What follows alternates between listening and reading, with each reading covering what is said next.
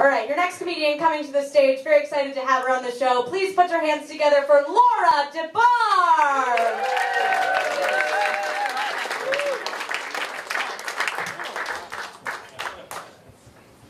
Hi, everybody.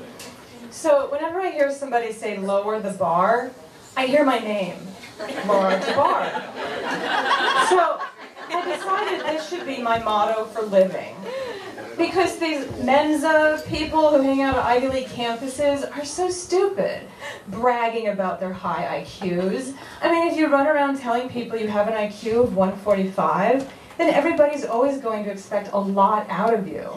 But if you're like me and you tell people you have an IQ of 85, then everything you do, people just find amazing. People say, Did you see what Laura DeBar did today? She got dressed. All by herself. Her shoes were not even Velcro. So, do we have any cat owners in the audience tonight? Cat people? Because I happen to be a professional cat sitter. And have you ever heard of a dog whisperer? Yeah, that's not me. Dogs are so needy. If I meet a guy who has a dog, I'm like, never mind, you already have a girlfriend.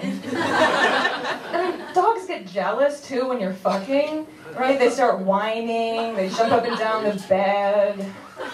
They are total cock blockers. You know what a cat does when you're fucking? Nothing. They're like, oh, good for you. And they leave the room. They leave the room. I identify as a feline. My pronouns are here kitty kitty and pretty girl. I only have sex with male humans but afterwards, I prefer to only cuddle with cats of either gender. Does that make me feline fluid? And I don't mean cat piss. I've noticed a lot of dog owners, I always refer to their dogs as rescues, where other pet owners don't seem to refer to their animals as rescues as often. I mean, imagine if I got an aquarium and I invited some friends over and I was like, hey everybody, this is Terrence, my rescue trout.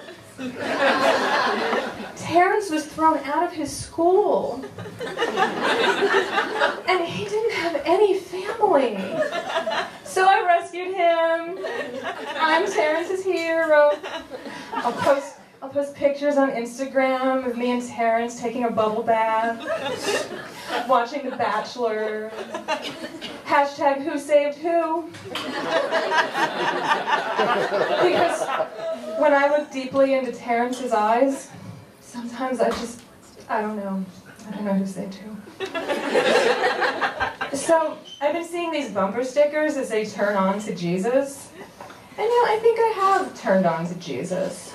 I mean, that loincloth? Those abs?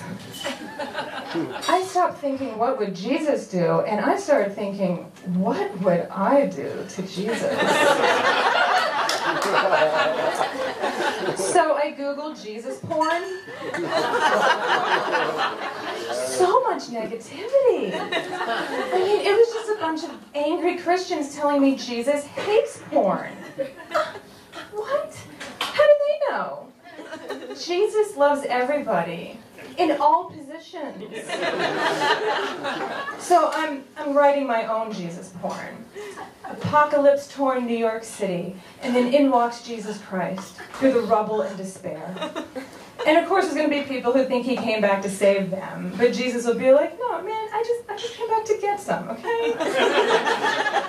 he has a foursome with a couple prostitutes and a nun. And remember that Michael Jackson video from the '80s, Black White, where Michael transformed from black guy to a white guy, Indian guy, and so on. That's what Jesus does when he fucks you. because he transforms to every man, because having sex with Jesus is like sliding down a happy rainbow of cock. so I'm going to be pitching this to Hollywood studios soon thinking of potential titles like Nude Testament. The second coming. It's a work in progress. I'm Laura DeBar. Thanks for listening.